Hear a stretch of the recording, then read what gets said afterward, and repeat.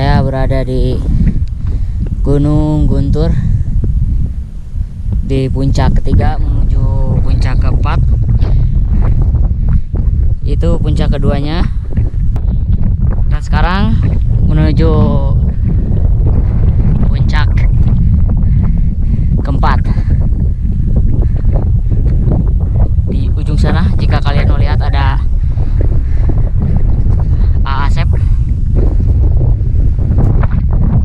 kita sedang melaksanakan pendidikan masa bimbingan untuk Sapala 67 benda.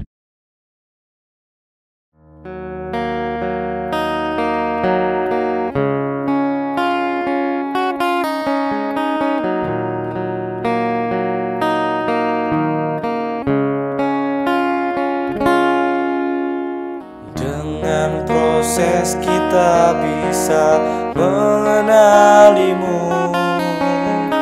Dengan keyakinanku kuatkan imanku.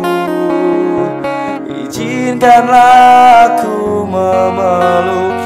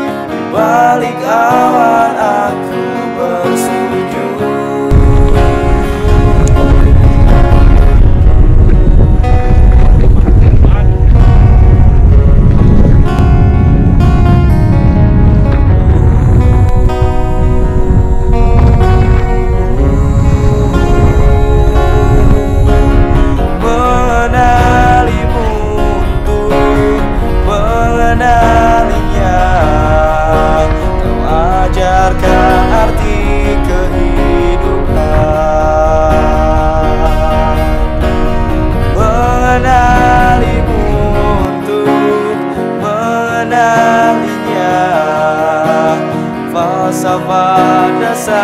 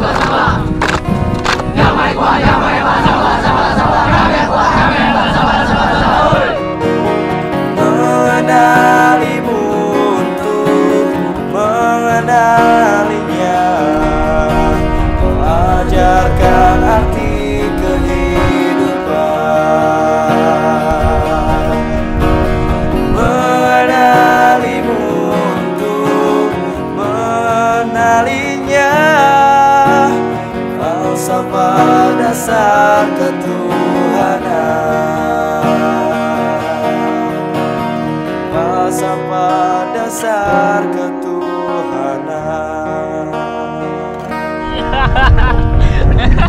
eh, mata dulu, mata dulu. Eh.